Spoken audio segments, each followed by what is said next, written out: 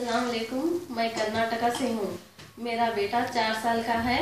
वो पहले बैठता नहीं था। उसकी नेक होल्डिंग भी नहीं थी। उसको फिटनेस बहुत था और उसको फिट्स भी बहुत आते थे।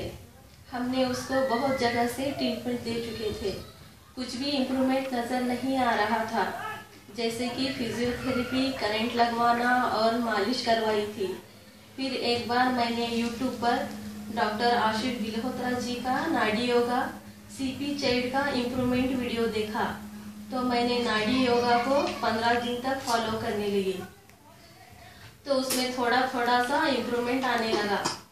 मुझे इस पर बिलीव होने लगा और मैं बहुत खुश हो गई कि मुझे नाडी योगा से एक उम्मीद की किरण नज़र आने लगी।